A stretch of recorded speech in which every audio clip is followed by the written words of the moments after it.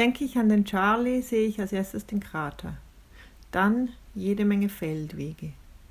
Und schließlich, wie er aufrecht in seinem Krankenbett sitzt, mit den Ellbogen nach links und rechts wippend und Sophia anstrahlt. Nein, ich will ihn nicht verklären, er bleibt ein problematischer Mensch. Sobald ich versuchte, von ihm zu erzählen, erntete ich nur Kopfschütteln, wenn ich Glück hatte. Nicht selten wurde ich belehrt. Der sei doch nichts als ein alter weißer Mann, ein Machoschwein, ein Proll, ein Abgehängter, ein Rechter, winkte man ab. Die erbittertsten Feinde stehen einem am nächsten. Im Namen der Toleranz sind sie also so intolerant wie möglich. Zwei Deutsche begegnen sich auf dem Kilimanjaro. Hier der feingeistige Hamburger Hansi, der Erzähler, da der Krachlederne auf den todkranke Bayer Charlie.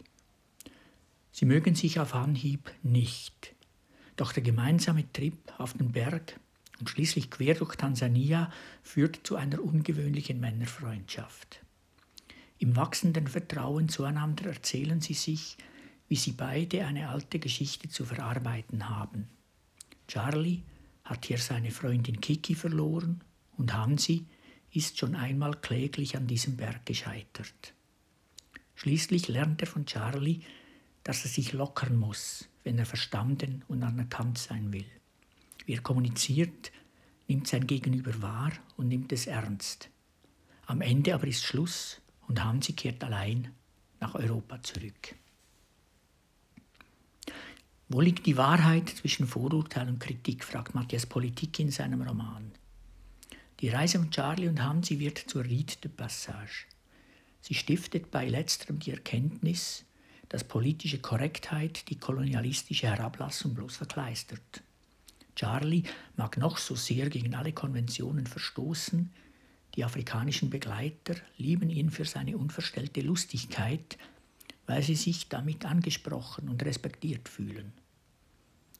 Matthias Politik enttarnt eine Haltung, die Reflexion unbedingt über Empathie setzen will. Und er tut dies in einer Weise, die den großen Stilisten verrät. Sein Roman ist souverän komponiert, mit hoher Präzision erzählt. Er beschreibt mal zuspitzend, mal ausladend, aber immer mit Zuneigung und einer feinen Selbstironie. Seine Sprache hält alle Widersprüche aus. Er beobachtet die afrikanische Szenerie mit einer Zurückhaltung, die sich nie anbietet.